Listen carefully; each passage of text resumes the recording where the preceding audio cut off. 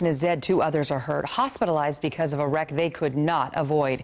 Tonight, investigators near Rockwall say they want to know why a truck driver didn't slow down, triggering a chain reaction of collisions. It happened around 4 o'clock this afternoon along I-30 near FM 3549. And about 30 minutes ago, we learned all lanes of I-30 reopened. Our Jeff Paul, live tonight in Dallas along 30, sharing more tonight about the trucking company at the center of this and the regulations in place designed to keep all drivers safe. Well, Kaylee, if you spend just a few minutes here near 30, you will likely notice all of the 18 wheelers out here on the highway. But what you might not realize is that that truck driver next to you could be violating the law, and you might not even discover it until it's too late. The images are violent. It's a matter of being in the wrong place at the wrong time.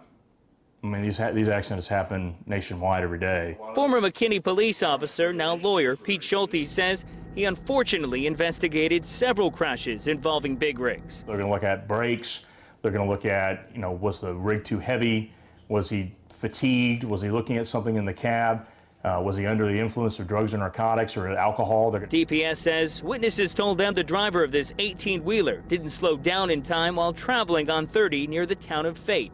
They say the driver then slammed into one car, causing the fatal chain reaction. It's a privilege for them to be able to make a living driving over the interstates every day or every week, and they have to follow the law. When they don't follow the law, it actually comes back and hits them harder. According to the Federal Motor Carrier Safety Administration, the trucking company believed to be involved experienced seven violations since October of last year. Three were for speeding, another three for lane restrictions, and one was for following too close. The data also shows a wreck involving one of its drivers less than two months ago in Louisiana. If they rack up enough violations, they'll shut them down. But ultimately, Schulte says it's up to the driver and the company to make sure they're operating safely. There are safeguards, but sometimes something like this has to happen for those safeguards to be checked. Now, we reached out to the trucking company believed to be involved in this wreck. A dispatcher told us that they were aware of the wreck but didn't release any other information, including the condition of their driver. Reporting live here in Dallas, I'm Jeff Paul, CBS 11 News.